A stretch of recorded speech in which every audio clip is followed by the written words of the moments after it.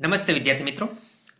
આપ સૌ મિત્રોનું આપણી સૌની સહિયારી યુટ્યુબ ચેનલ મિશન જીકેમાં હાર્દિક સ્વાગત છે. તો મિત્રો, આજે અમે આપની સમક્ષ એક બિગ બ્રેકિંગ ન્યૂઝ લઈને આવ્યા છીએ કે બિન સચિવાલય ક્લાર્કની પરીક્ષા રદ. જે પરીક્ષામાં મિત્રો કૌભાંડ થયું હતું, જે પરીક્ષામાં ચોરી થઈ હતી, તે પરીક્ષા આખરે રદ થઈ છે અને વિદ્યાર્થીનો વિજય થયો છે. તો જોઈએ મિત્રો સંપૂર્ણ માહિતી. તો વાત કરીએ મિત્રો કે રાજ્યમાં જે બિન સચિવાલય પરી, બિન સચિવાલય ક્લાર્કની પરીક્ષાને લઈ ખૂબ જ વિવાદો ઉદ્ભવ્યા હતા અને ગાંધીનગર ખાતે પરીક્ષાઓ દ્વારા ધરણા પણ કરવામાં આવ્યા હતા અને કોંગ્રેસના નેતાઓ તેમને સપોર્ટ પણ કર્યો હતો. આ પરીક્ષામાં ભાજપના નેતાએ જે ગેરરીતિ કરતા ઝડપાયા હતા અને સૌરાષ્ટ્રના ગોંડલના એલબી કોમર્સ કોલેજના કોંગ્રેસના આગેવાનો પણ મિત્રો આમાં ઘણા મિત્રોએ જે આમાં છે ભૂમિકા ભજવી છે અને આખરે તે પરીક્ષા જે છે બિન સચિવાલય ક્લાર્કની પરીક્ષા રદ થઈ છે એવી ગૃહમંત્રીએ મિત્રો જાહેરાત કરી છે.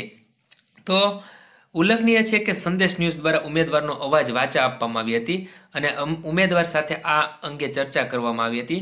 સંદેશ ન્યૂઝ દ્વારા ન્યાય આપવો ઝુંબેશ ચલાવવામાં આવી હતી, જેમાં મોટી સંખ્યાના રાજ્યના ઉમેદવારો જોડાયા હતા.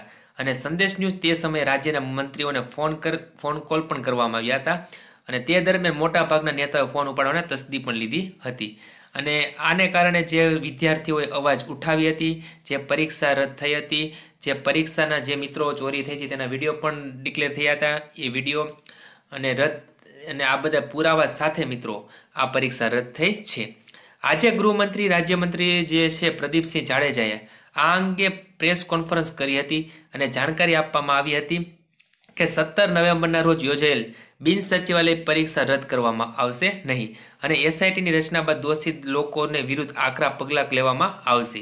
અને બિન સચિવાલયની પરીક્ષા અંગે તેમજ એસઆઈટીના રિપોર્ટ અંતે મુખ્યમંત્રી તેમજ ઉપમુખ્યમંત્રી નીતિન પટેલની હાજરીમાં નિર્ણય લેવામાં આવ્યો હતો કે બિન સચિવાલય કલાકની પરીક્ષા રદ કરી દેવામાં આવી છે. તો આ મિત્રો વિદ્યાર્થીનો વિજય છે અને આ પરીક્ષા રદ થઈ છે. અમે આપની સમક્ષ એક બિગ બ્રેકિંગ ન્યૂઝ લઈને આવ્યા હતા. જો મિત્રો તમને વીડિયો પસંદ આવ્યો હોય તો લાઇક કરજો અને તમારા મિત્રોમાં શેર કરજો. ધન્યવાદ.